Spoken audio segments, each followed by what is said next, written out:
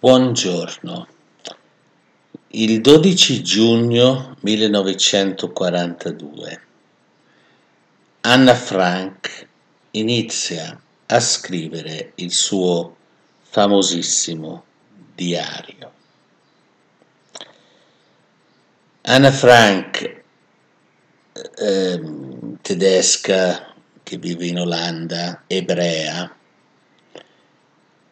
e deve ovviamente nascondersi in questa casa con altre famiglie. Scrive questo diario raccontando quello che avviene nelle famiglie.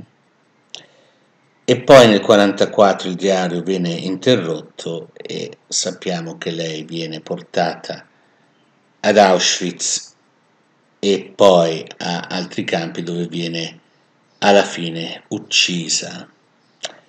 E il padre Otto raccoglie questo diario e lo pubblica affinché il mondo possa leggere quelle pagine di una giovane adolescente con la vita davanti in realtà non ha niente davanti se non le camere a gas.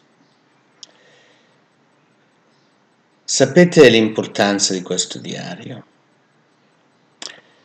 Dà all'olocausto, dà alla Shoah individualità.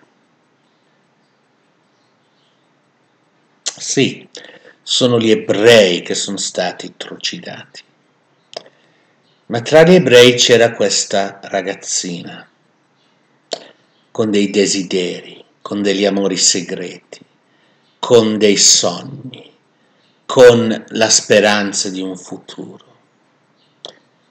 Non sono solo ebrei, sono persone. Anna Frank ci dà questo fatto. È una persona.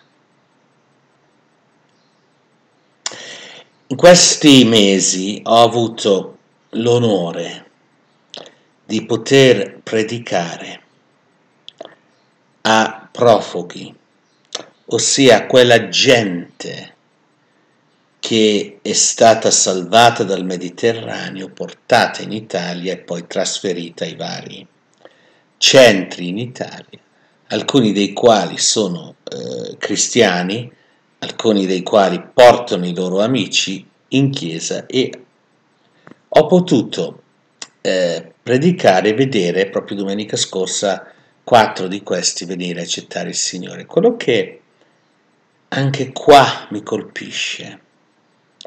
Sono quattro persone. Quando preghi per loro, senti che hanno mamma e papà in Africa, in Siria, dovunque sono, che hanno fratelli e sorelle, che hanno un amore, che hanno la disperazione nel cuore. Sono persone. Ora io credo questo, che da cristiani non dobbiamo vedere la categoria,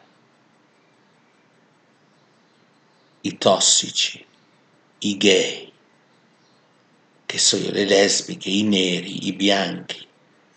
Ah, sono persone. Quando Gesù affronta la donna adultera, Giovanni 8, i farisei dicono, Mosè ci ha detto di lapidare queste tali, cioè le adultere, lapidiamole. Gesù si rivolge a questa donna chiamandola donna oppure signora. Cioè tu sei una persona, non sei una, questa, una di questi tali, sei una persona con i tuoi dolori, con i tuoi pianti, con i tuoi amori, con i tuoi sogni, sei una persona e io ti tratto come persona e io ti chiamo per nome. È bello questo. Tante volte troviamo Gesù che dice Zaccheo, vieni giù. Non dici tu che sei lassù, vieni giù. Zaccheo. Ma lui è un pubblicano, lui è un traditore degli ebrei, lui è un ladro, lui è una persona. Abitua la tua mente a vedere persone, a vedere in quei profughi nel mare gente che ha amori, sogni, delusioni, disperazione, parenti, mamma e papà lontani, come te. Abituati a pregare per le persone. Abituati a considerare la persona che hai davanti a te una persona degna del sacrificio di Cristo. Il pregiudizio lavora sulle categorie i giudei, i neri, i zingari. Il cristiano lavora sul singolo.